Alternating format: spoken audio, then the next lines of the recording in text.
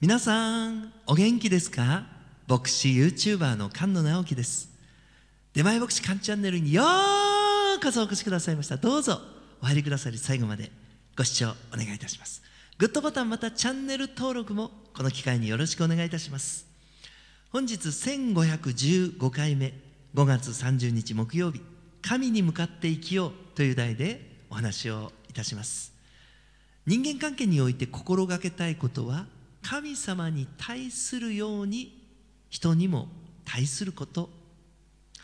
人と人を比較して優劣をつけたり権力者におもねり身分の低い人を軽んじることがそういう生き方をしないようにしたいものです、まあ、次に何事も神に対して行うように行うということ。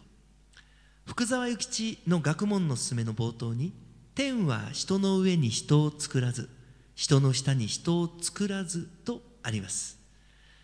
人間はすべて平等であり身分の上下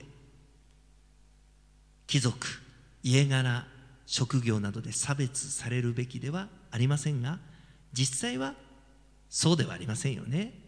福沢諭吉はだからこそ人には差別がある。だからこそ自分に必要な知識を身につけてください。そういうことを進める。それが学問の勧めのテーマです。人は神に向かって生きる時に高い志を持つようになります。人生を投げやりに考えることがなくなり何事にも愛を込めて行えるようになる。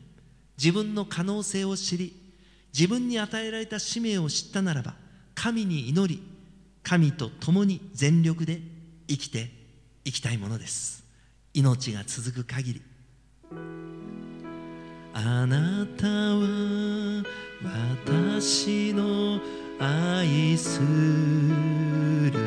主私を守る盾。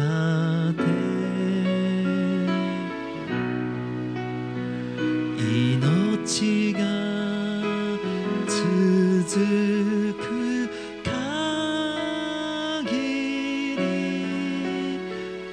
私は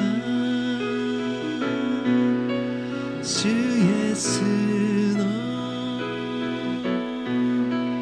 皆をあがめ続ける